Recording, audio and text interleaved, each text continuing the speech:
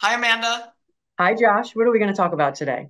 I want to talk about a client who came to me because she has cataracts. She has an eye condition that prevents her from driving safely at night. Now, she can still get to work. She can still do her work during her normal working hours. But during the winter, when it gets dark early, she can't get home safely. And so she's hoping that her employer will let her leave work early and work from home or maybe start her day earlier. And she's wondering, do any of our disability discrimination laws protect her? What's your advice?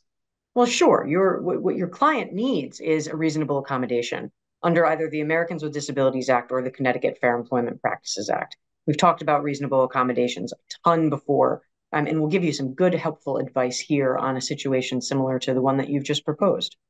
Three key takeaways for this. Number one, ask. If you need a reasonable accommodation at work, no one's going to grant it to you without you making that request first. So go to your employer, make sure that they know that the need for this reasonable accommodation is tied to a disability. They may ask you for medical certification from your doctor to, of course, substantiate the fact that you are, in fact, suffering from this disability, and you should provide that to them. You don't know the answer to the question unless you ask, so make sure you do that. Number two, be really specific in what you are looking for. The details matter significantly. So, Josh, you mentioned two things that are important. Number one, this might be a temporary accommodation because this potential client is going to have cataract surgery. And once the cataract surgery is accomplished, the need for the reasonable accommodation will be gone. Number two, this is only something that this potential client needs at night and during winter months. So that limits even the duration over the course of a year that this accommodation might be necessary. That puts more pressure on the employer to say, hmm, maybe we should, in fact, grant this reasonable accommodation request because what is the hardship? And one of the questions that we're always looking for in these accommodation requests is what is the undue hardship that the employer is met with in granting this reasonable accommodation?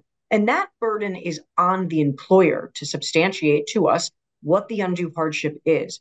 The more specific you are in your request with exactly what you need, the harder you are going to make it for the employer to reach that burden of proving that there is, in fact, an undue hardship in granting it and allowing you, in this particular situation, to get home from work safely after a day's work. Third takeaway is the case law here is a bit split.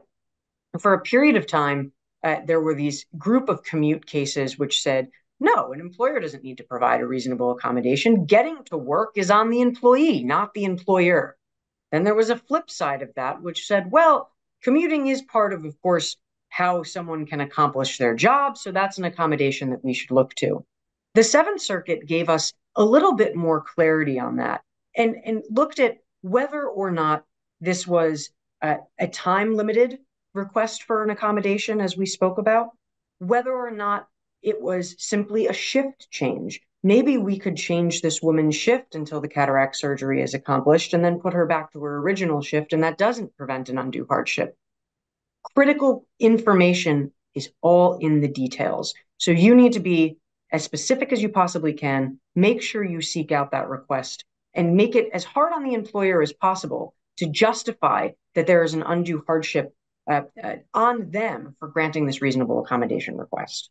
Really good information, Amanda. And of course, if you ask, even if your employer doesn't think that they are required to give you a particular accommodation, they still can. They might just decide you're a really valuable employee. They want to accommodate you, and you're able to work it out without any lawyers, without any, um, without involving the justice system at all. So hopefully that's helpful to you. Thank you for watching, and we'll see you next time.